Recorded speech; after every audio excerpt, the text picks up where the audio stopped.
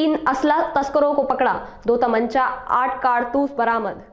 पकड़े गए आरोपियों के पास से तीन देसी पिस्टल, दो देसी तमंचे के साथ आठ ज़िंदा कारतूस बरामद हुए हैं। तीनों के खिलाफ संबंधित धाराओं में मुकदमा दर्ज कर उन्हें जेल भेज दिया गया है। वहीं फरार चल रहे एक तस्कर को गिरफ़्तार करने के लिए टीम लगा दी गई है। विधानसभा चुनाव के लिए लाए जा रहे थे हथियार। ज़िले के उरई पुलिस लाइन में एसपी रवि कुमार ने बताया कि बीते कई दिनों से एसओजी और जनपद के थाना पुलिस को जानकारी मिल रही थी। जनपद में विधानसभा चुनाव को देखते हुए अवैध हथियारों की तस्करी की जा रही है, जिसके लिए एएसपी के नेतृत्व में टीमों का गठन किया गया था। इसी के तहत रामपुरा और एसओजी टीम को मुखबिर द्वारा सूचना दी गई कि क्षेत्र में इटावा जनपद से अवैध हथियारों की तस्करी के लिए एक गिरोह आ रहा है।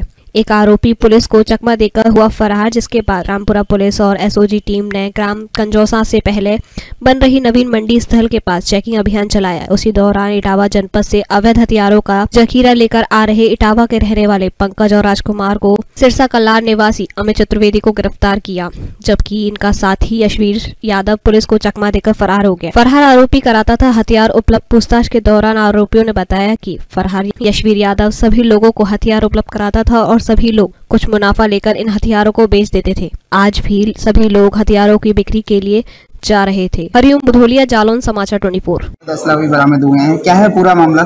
देखिए एक अंतर जनपदीय गैंग का खुलासा हुआ है जिसमें थाना रामपुरा की पुलिस ने तीन अभियुक्तों को गिरफ़्तार किया है। उसमें से दो अभियुक्त हरथना क्षेत्र के जनपद इटावा के रहने वाले हैं। एक अभियुक्त जनपद जालौन का है और एक अभी इनका एक अन्य साथी जो है जो इनका मेन मास्टर माइंड है वो फरार है।